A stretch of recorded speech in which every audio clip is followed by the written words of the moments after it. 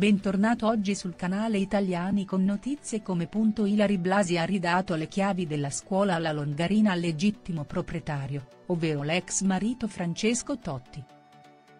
L'ex bomber giallorosso torna così in possesso del centro sportivo di Roma Sud, nel quartiere Casal Palocco.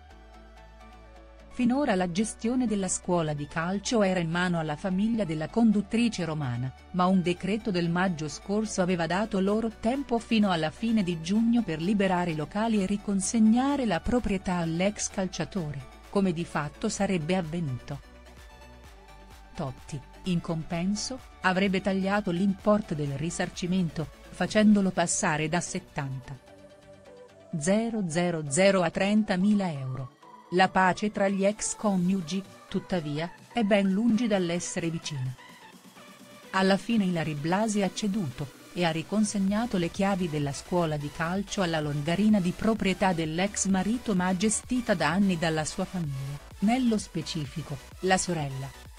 Francesco Totti, così, è tornato in possesso del centro sportivo e potrà così dare vita al memoriale per il padre Enzo, sospeso proprio a seguito di questa diatriba. Inoltre, finalmente, gli oltre 600 piccoli allievi iscritti alla scuola calcio potranno tornare sui campi da gioco e riprendere l'attività.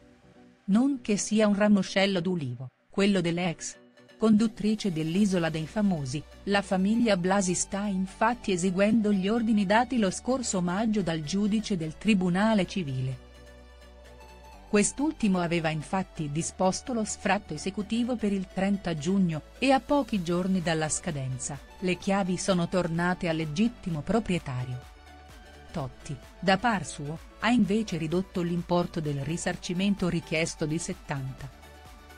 000 euro chiedendone solo 30.000. Blasi ridà a Totti le chiavi della scuola di calcio di Casal Palocco. Pace fatta tra Totti e Blasi? Per modo di dire. La conduttrice Capitolina ha ridato le chiavi della Totti Soccer Club all'ex marito, seguendo quindi le disposizioni del giudice civile che aveva predisposto lo sfratto esecutivo per il prossimo 30 giugno. Il centro sportivo era finito al centro della contesa tra i due ex coniugi poiché da tempo gestito dalla famiglia di Blasi, benché come inizialmente previsto, dal fratello dell'ex calciatore Riccardo.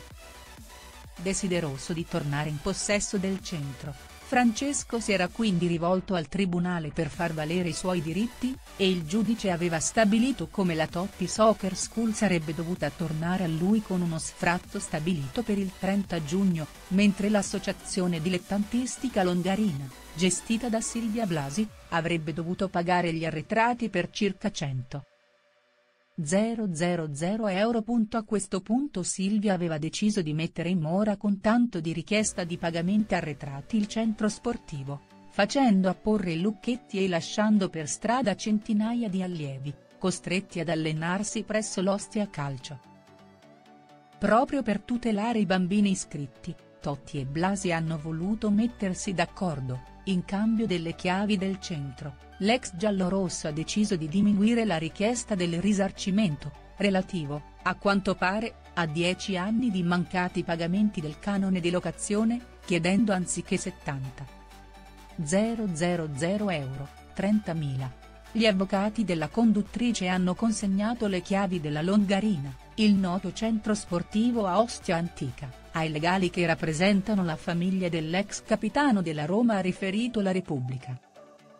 Un gesto di distensione, certo, ma non certo di pace raggiunta, visto che rimangono ancora molti aspetti da risolvere in una delle separazioni più travagliate nel mondo dello spettacolo.